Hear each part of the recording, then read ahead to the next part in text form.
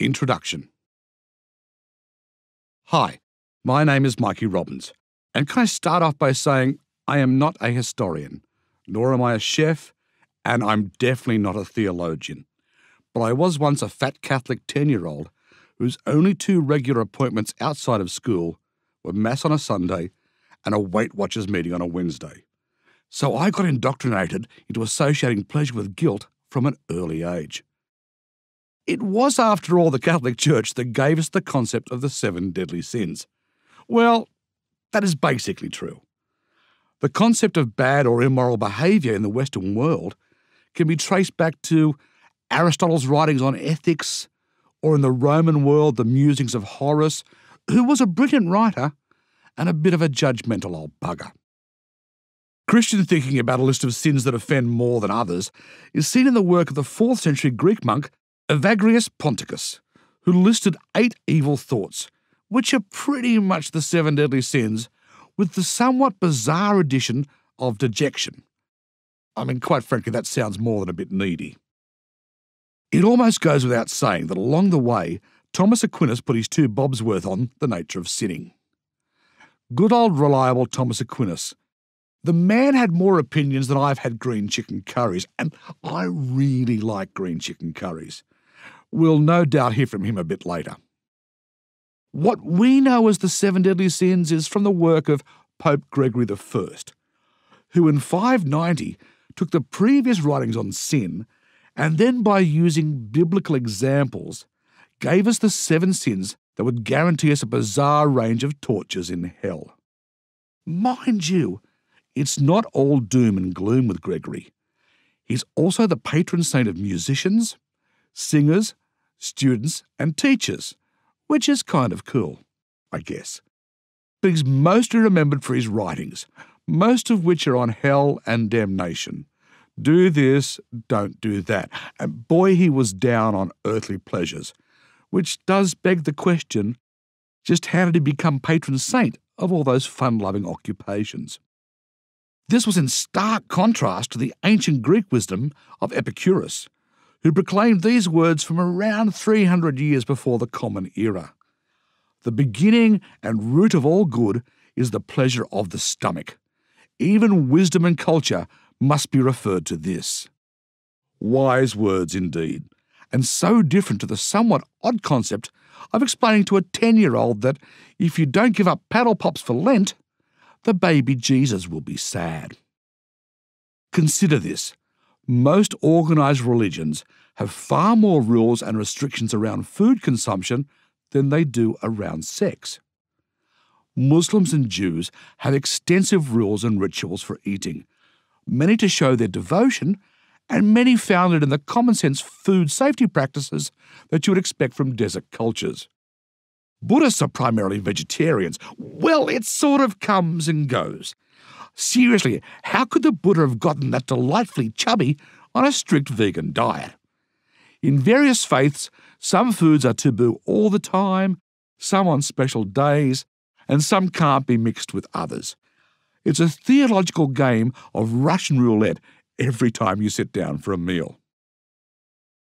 Let me give you a rather strange example of this battle between the soul and the stomach from the latter part of the 17th century.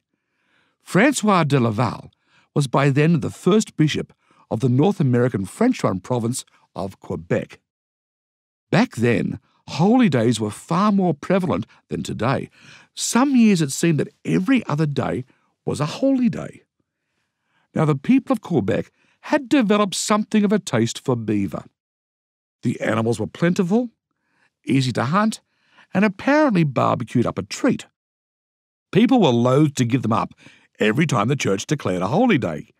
Here's where the good bishop came to the rescue. He mounted an argument in a letter to the church that, due to the beaver's mostly aquatic habits, there were compelling reasons that the mammal could be classified as a fish.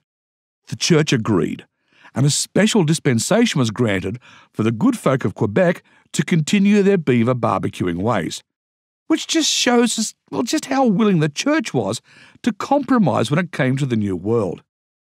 They would also go on to include muskrats, capybaras, and even alligators as fish, just to keep their foothold in the Americas safe. The most obvious of the seven deadly sins to associate with food is gluttony. And this is fair enough.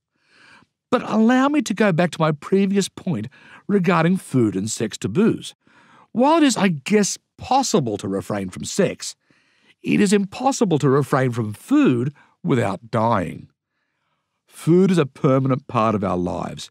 It does more than sustain us. It gives us pleasure. It can give us status. It fills emotional gaps in some people while becoming an obsession with others. We covet food. We go to war for and with food. We seduce with food. We use food to show off. We hoard it, we profit from it, and we also overindulge in it. As Sir Thomas Aquinas once said, the things that we love tell us who we are. And that is just as true in these sectarian days as it was in the Middle Ages. To be honest, the behaviour described by the seven deadly sins was pretty much as antisocial in ancient Egypt as it is today. Sure, we might not be risking eternal damnation, but bad behaviour is still considered just plain rude. Because eating is so primal to our nature, we can often go to strange and bizarre lengths to satisfy whatever urge we have that food satiates. Or, as a friend of mine once said, where there is food, there is folly. Which brings me to one of the weirdest stories that concerns our sinful relationship with food. There have been times when sin could actually be consumed as food. I'm not talking about the transubstantiation of the communion wafer, but of something more folkloric in nature. The job of a sin eater has its origins in medieval times and it had pretty much died out by the 17th century. It started by the local gentry offering food and ale to the poor of the parish to pray for the souls of the dearly departed. This practice evolved over the centuries until it became this person's role to literally consume the sins of someone who had recently passed. The sin eater would usually eat bread and drink ale while sitting near the corpse. That way, the sins of the dead could be passed into the living, and their souls could enter heaven free from whatever transgressions they may have committed in their mortal life.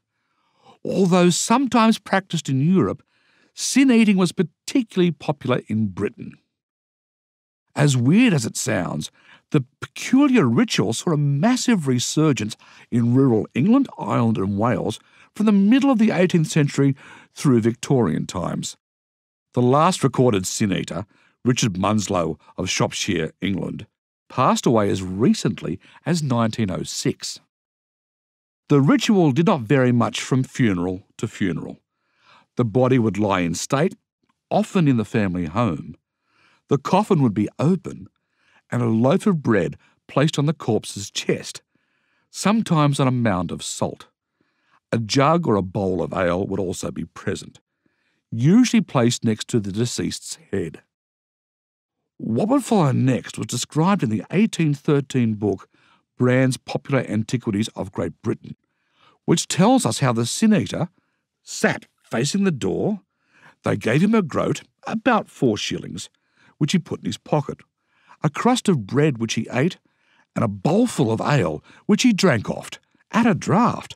After this, getting up from his stool, he pronounced with a composed gesture, The ease and the rest of the soul departed, for which he would pawn his own soul. This concept of consuming sins was not only to save the souls of the dead, but also to protect the superstitious mourners left behind. One popular sin eater's coffin side speech read, I give easement and rest now to thee, dear man, Come not down our lanes or in our meadows, and for thy peace I pawn my soul. There you go. Sin eating gets loved ones into heaven and keeps their ghost from your lanes and meadows. Not bad for four shillings and leftover bread and beer. As I stated before, where there is food, there is folly. Once you throw in a bit of sin for good measure, things can really get a bit weird.